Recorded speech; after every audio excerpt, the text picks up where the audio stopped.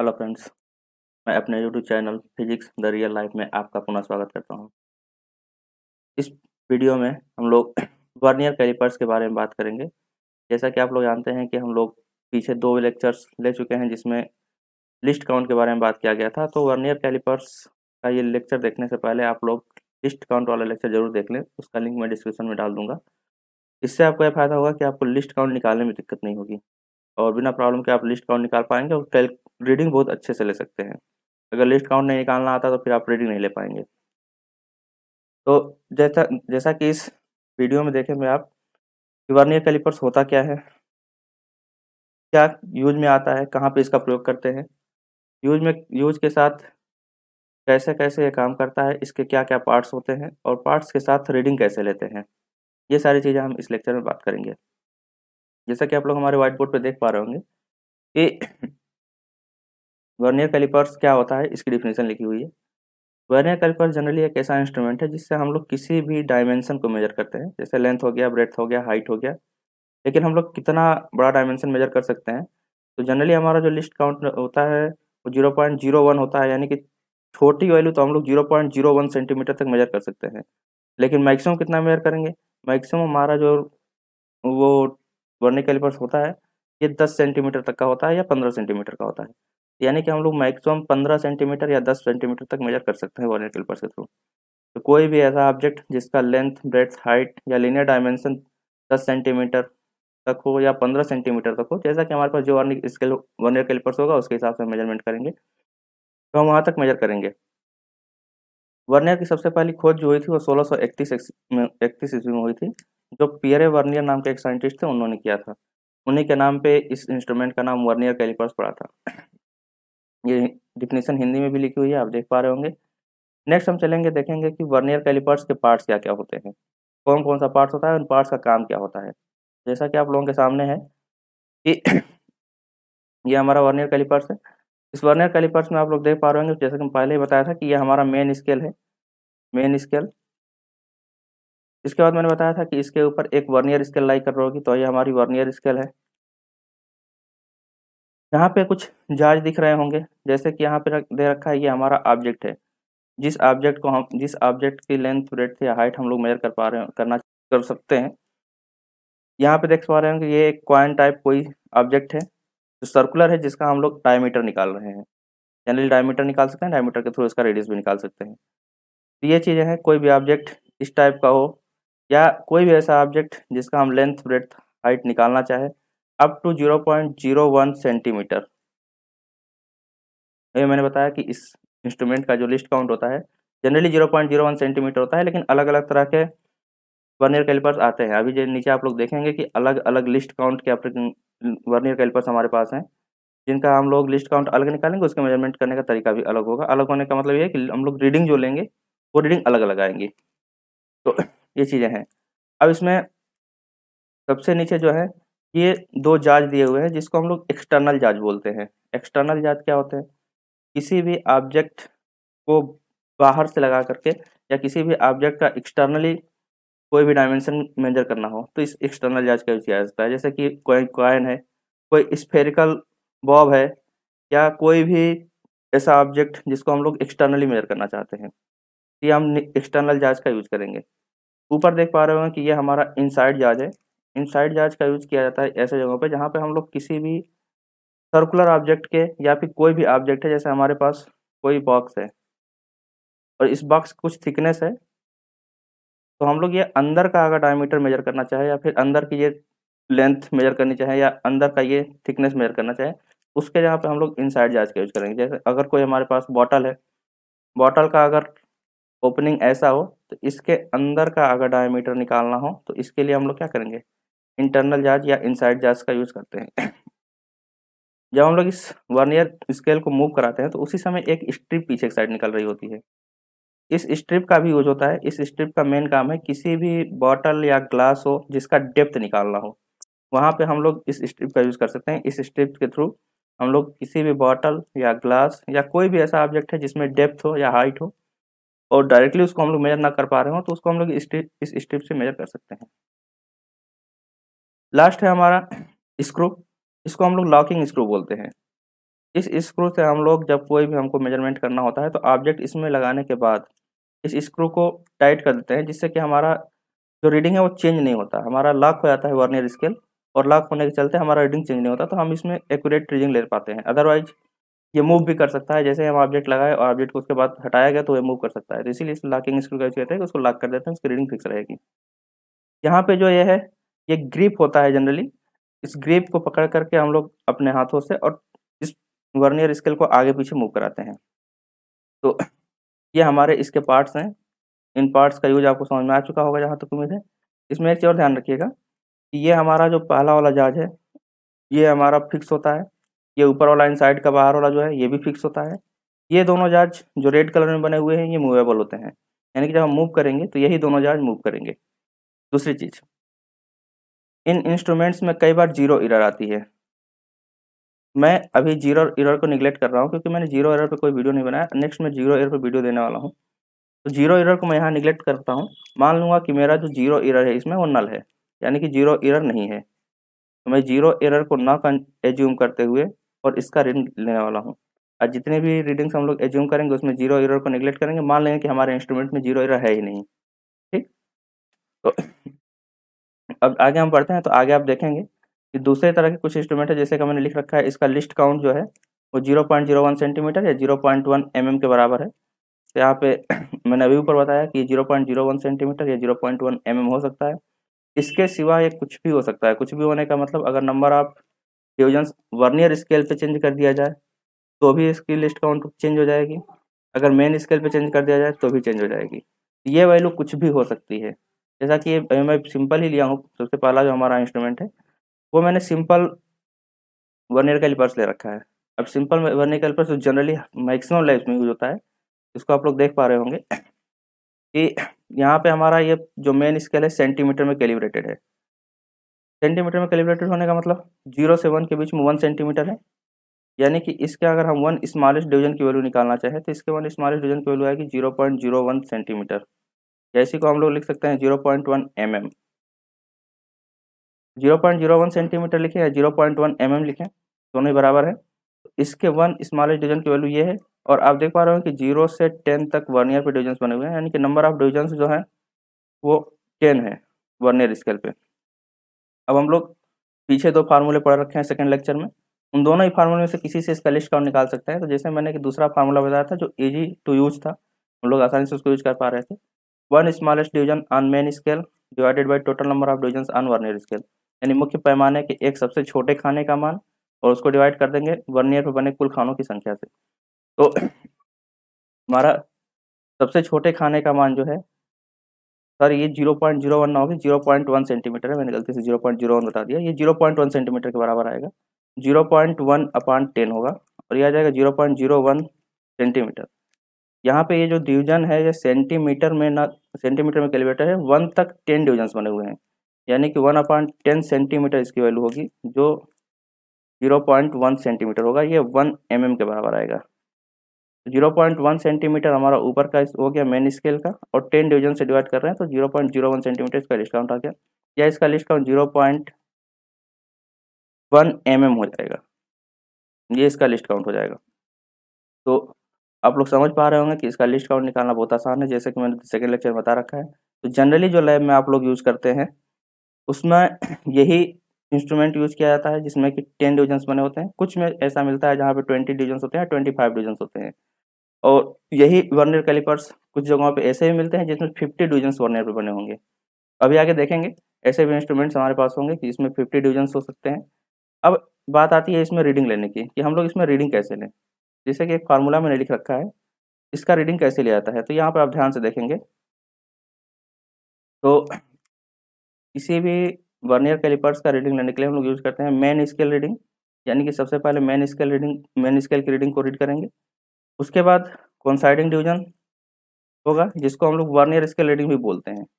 Generally देखते हैं कि हमारा वर्नियर का कौन सा डिवीज़न मेन स्केल के डिवीज़न से एग्जैक्टली कॉन्साइड कर रहा है, यानी कि दोनों एक सीध में है। ये हमारा मेन स्केल हो गया और हमारा वर्नियर स्केल है। अगर दोनों एक सीध में है तो इसको हम लोग कॉन्साइडिंग डिवीज़न बोलेंगे। इसको जनरली हम लोग वर्नियर स्केल रीडिंग भी बोलते हैं। और उसको मल्टीप्लाई कर लेंगे लिस्ट काउंट से, और लिस्ट काउंट से मल्टीप्लाई करने के बाद मेन स्केल रीडिंग में जोड़ देंगे। तो अब आगे बढ़ते हैं, देखते हैं रीडिंग लेते कैसे हैं। यहाँ पे जैसा कि हमारा, अभी मैंने जो स्क्रू गेज दिखाया है, इसी को मैं पहले ले लेता हूँ। आपको ज़्यादा सॉरी वर्नियर कैलिपर जो है, इसको पहले मैं ले लेता हूँ। तो देखिए इसमें रीडिंग लेने के लिए सबसे पहले मेन स्केल की रीडिंग यहाँ पे लिखी हुई है ज़ीरो पॉइंट सिक्स एम यानी कि आप देख पा रहे होंगे। ज़ीरो से फाइव ये है, ये हमारा सिक्स है।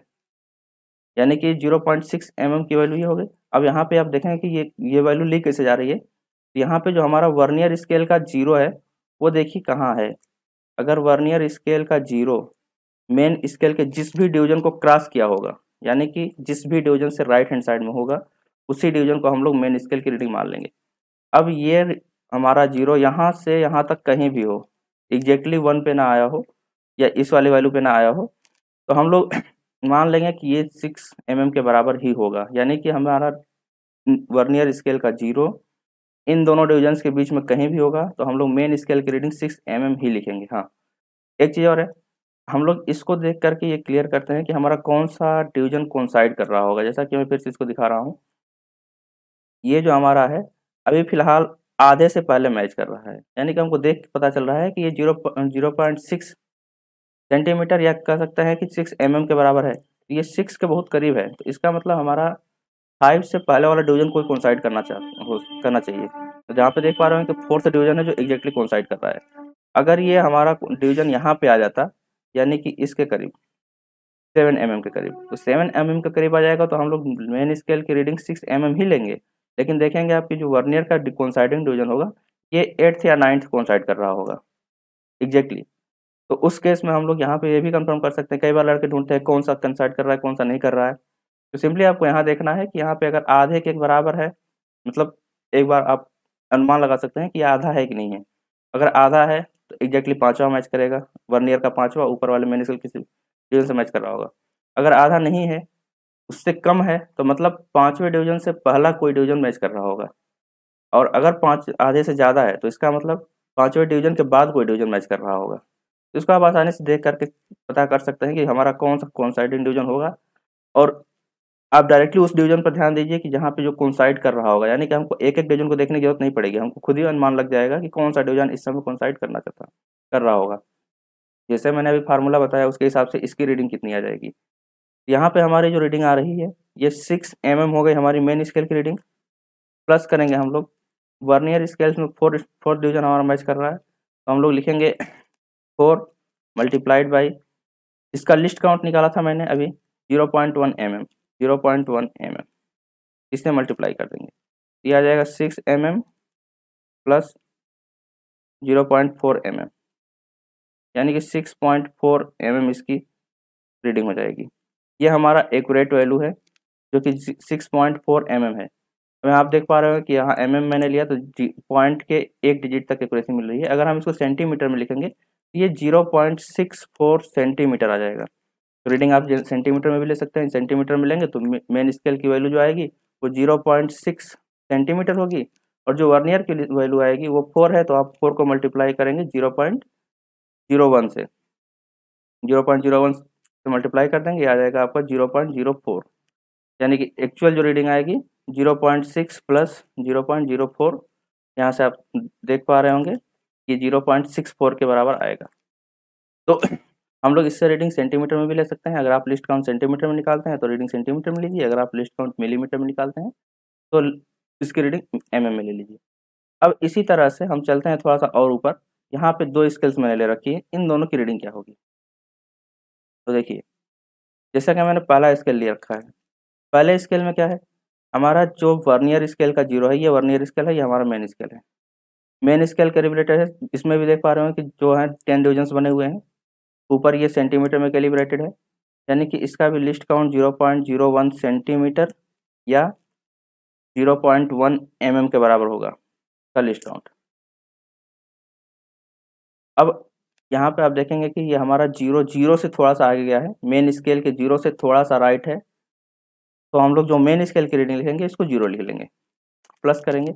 अब देखेंगे कौन साइड डिवीज़न कौन सा है। तो आप देख पा रहे होंगे, पहला, दूसरा, तीसरा डिवीज़न जो है एग्जैक्टली कौन साइड कर रहा है। यानी कि अगर तीसरा डिवीज़न कौन साइड कर रहा है तो हम लोग एड करेंगे three into zero point zero one centimetre ये ज़ीरो भी सेंटीमीटर मैंने ले रखा है। तो zero point zero one centimetre का मतलब क्या हो? गया zero point zero plus zero point zero three centimetre यानी कि आ जाएगा हमारा zero point zero three centimetre के बराबर है हमारी रीडिंग आ जाएगी। Final reading zero point zero three centimetre इस तरह से आप लोग किसी भी इंस्ट्रूमेंट से जैसे किसी भी वर्नियर कैलिपर्स का रीडिंग लिख सकते हैं। जैसा कि आप देख पा रहे होंगे, यहाँ पर अगर पहला डिवीज़न हमारा क्रॉस किया होता तो ज़ीरो पॉइंट वन थ्री आता। अगर इस वन को क्रॉस कर जाए, जैसे कि यहाँ पे दूसरे रीडिंग में लिया गया है, यहाँ पे मैंने क्या बताया, अभी पहला डिवीज़न क्रॉस नहीं किया गया ज़ीरो पॉइंट ज़ीरो थ्री आया। अगर इस पहले डिवीज़न को क्रॉस करता तो ज़ीरो पॉइंट वन थ्री आता, या कुछ और आता। अगर थर्ड ही कोलाइड कर रहा होगा तो one zero point one three आ जाएगा। आगे अगर हम लोग इस रीडिंग को देखेंगे तो यहाँ पे देखेंगे आप वन क्रॉस कर चुका है। वन क्रॉस कर चुका है का मतलब क्या है? कि हम लोग मेन स्केल की रीडिंग वन सेंटीमीटर लिखेंगे, प्लस करेंगे। अब यहाँ आप देख पा रहे हैं कि ये आधे से अधिक आगे जा चुका है। आधे से अधिक है मतलब हम क्लियर कर सकते हैं कि पाँचवें के बाद कोई डिवीज़न मैच करेगा। तो आप ध्यान से देखेंगे तो इधर कोई मैच नहीं कर रहा होगा। इधर आपको देखने की ज़रूरत भी नहीं पड़ेगी।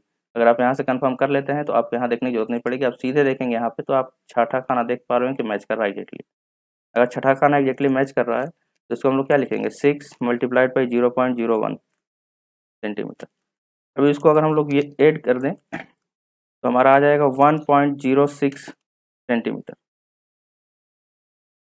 ठीक? ये हमारा इसका, इस वाले स्केल की रीडिंग हो जाएगी। अब इस, इसमें भी अगर ये वन क्रॉस किया है, ये सिक्स है।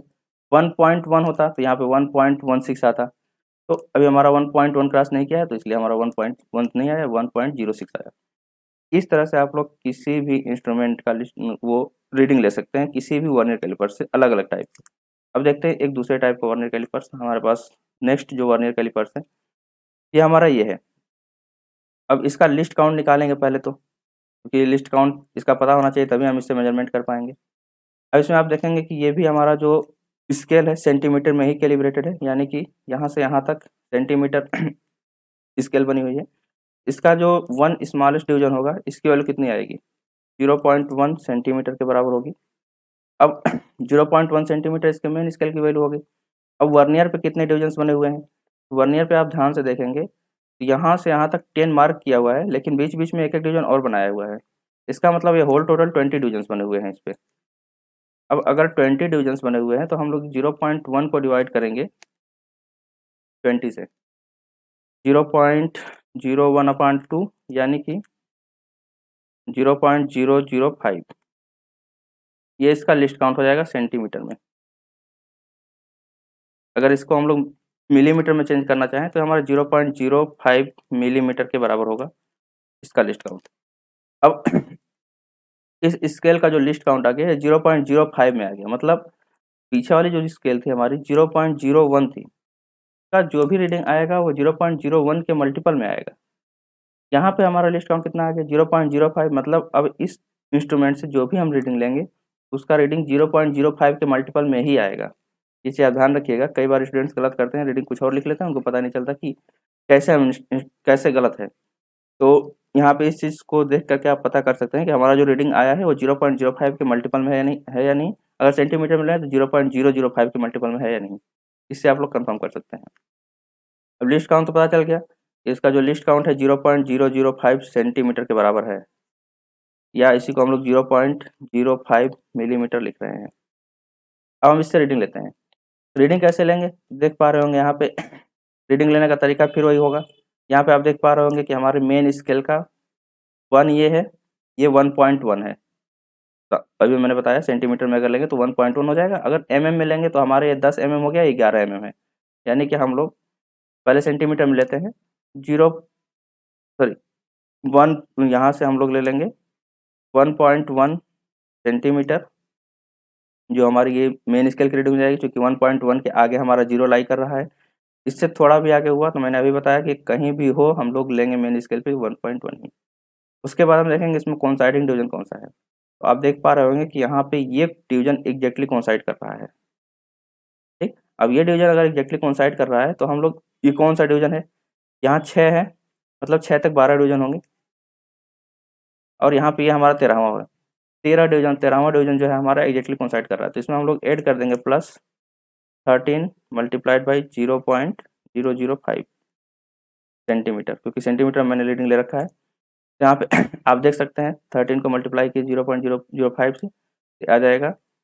One point one centimetre plus zero point zero six five, zero six five. ठीक?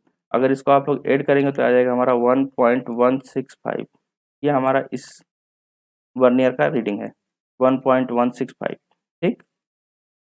अब अगर हम लोग इसको एम mm में लेना चाहें तो सिंपली आप इसको यह कर सकते हैं कि एलेवन पॉइंट एम यहीं से लिख दीजिए। या आप लोग अगर एम mm में रीडिंग भी लेंगे तो यही आएगा। आप देख सकते हैं एम mm में अगर रीडिंग लेंगे तो भी यही आएगा।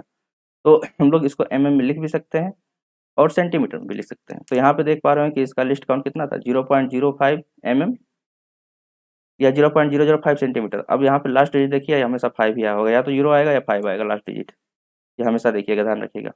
दूसरी इसमें लड़के गलतियाँ क्या करते हैं? कई बार ऐसा होता है कि हमारा रीडिंग आ गया वन पॉइंट वन ज़ीरो लड़के इसको क्या करेंगे? One point one zero zero होना चाहिए, क्योंकि हमारा लिस्ट काउंट थ्री डिजिट में है, इतना सेंटीमीटर आना चाहिए। लड़के क्या करते हैं? वन पॉइंट वन लिख के छोड़ देंगे। अगर आपका रीडिंग ये आ रहा है और आपने ये लिखा। इसको गलत माना जाता है। कई टीचर्स इसको गलत मानेंगे और आपका रीडिंग कट कर दिया जाएगा, ये ध्यान रखिएगा। ये मिस्टेक्स नहीं करनी है। आप रीडिंग लेते समय उतने डिजिट पूरे लिखेंगे जितना कि आपके लिस्ट काउंट में है। लिस्ट काउंट के सारे डिजिट एक साथ आप पूरे लिखेंगे। इस चीज़ का ध्यान रखिएगा। नेक्स्ट यहाँ जो वर्नियर देख रहे हैं आप लोग, ये भी ऊपर वाला वर्नियर है जैसा कि आप देख पा रहे होंगे कि ये सेंटीमीटर में कैलिब्रेटेड है, लेकिन इसमें एक चेंज किया गया है। ज़ीरो से वन सेंटीमीटर को ट्वेंटी डिवीज़न में डिवाइड कर दिया गया है। वहाँ टेन डिवीज़न में था। अभी आपने ऊपर देखा कि टेन डिवीज़न में डिवाइड किया गया था, लेकिन यहाँ क्या किया इन्होंने? ट्वेंटी डिवीज़न में डिवाइड कर दिया। अब ट्वेंटी डिवीज़न में डिवाइड कर दिया तो क्या होगा? इसका जो लिस्ट काउंट निकालेंगे तो वन स्मॉलेस्ट डिवीज़न की जो वैल्यू आएगी वो कितनी आ जाएगी? वन अपान ट्वेंटी के बराबर। यानी कि zero point zero five centimetre. यह आ गया हमारे वन स्मॉलेस्ट डिवीज़न की वैल्यू। अब इसमें हम लोग डिवाइड करेंगे किससे? ट्वेंटी से। ट्वेंटी से डिवाइड करेंगे तो हमारा मिलेगा लिस्ट काउंट यानी कि one upon twenty divided by twenty one upon four hundred